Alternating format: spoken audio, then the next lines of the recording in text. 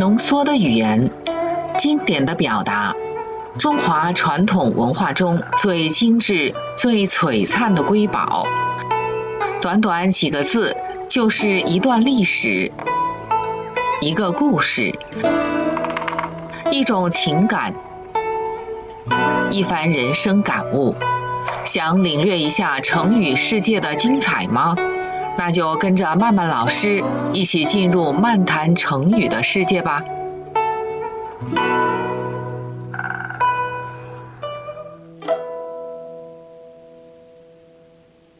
大家好，我是曼曼老师，又和大家见面了。今天要和大家谈的成语是“单一顺母”。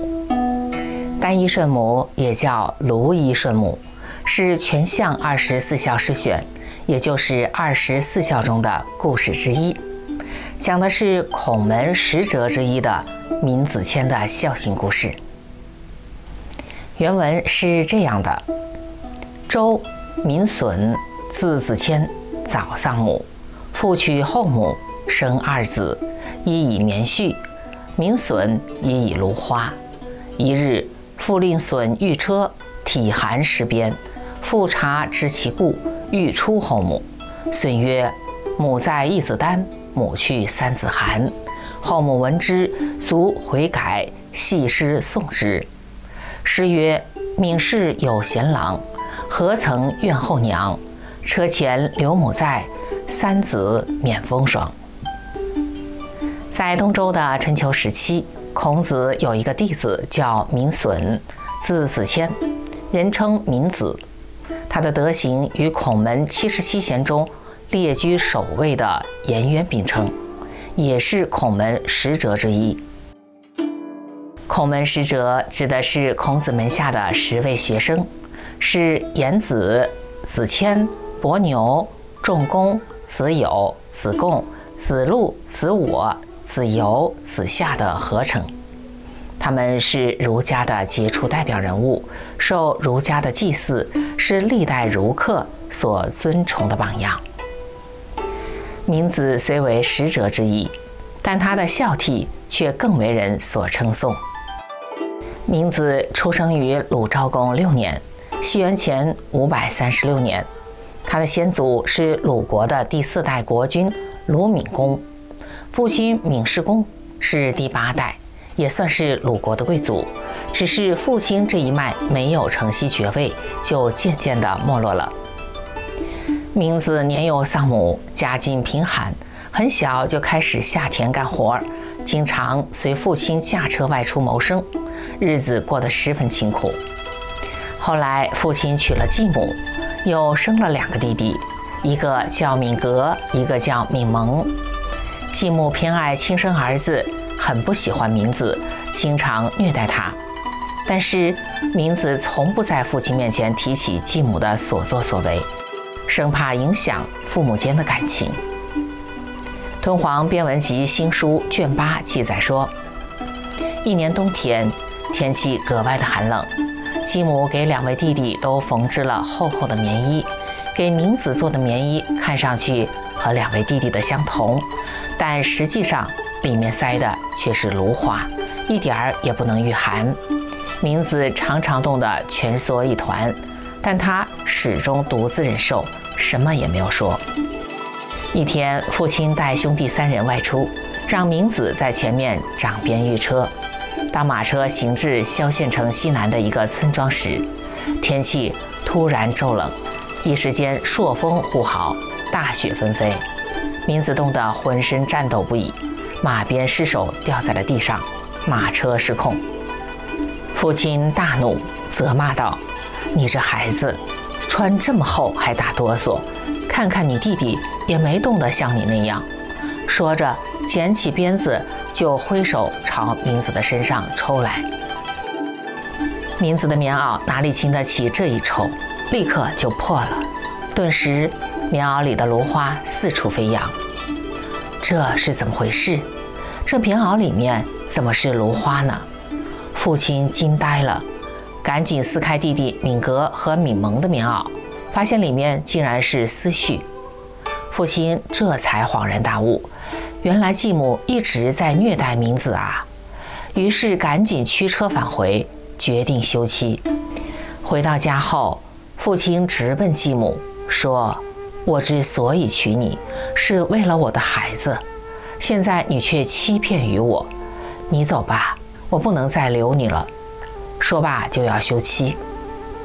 继母和两个弟弟吓得直哭。明子见父亲休妻如此坚决，赶紧跪在父亲面前，哭泣着说：“母在一子丹，母去三子寒，愿大人思之。”意思就是，有母亲在，只有我一个人受冻。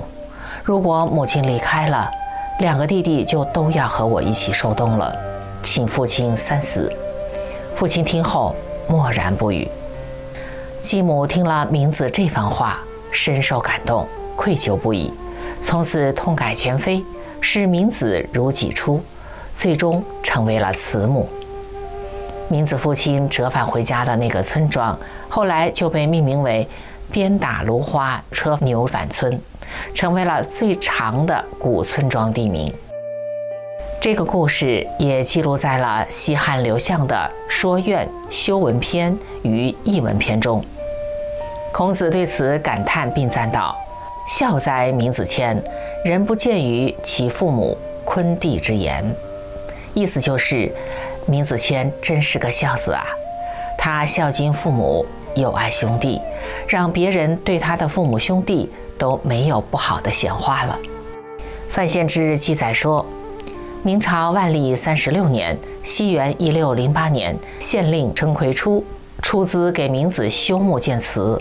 明朝尚书李化龙因敬仰明子的仁德，为此作诗称颂道：“明子祠堂观道西，芦花满地草萋萋。阶前几棵长松树，不是此鸟不敢栖。”后来，明子拜孔子为师，成为孔门弟子。他不仅仁孝持重，而且崇尚节俭。《论语先进》记载说，一次鲁国要重建国库，闵子骞说：“仍用旧的国库不行吗？何必要改建呢？”因此，孔子赞赏道：“子谦平时少语，但一开口定是说到点子上。”闵子一向守身如玉，清廉正直，淡漠仕途。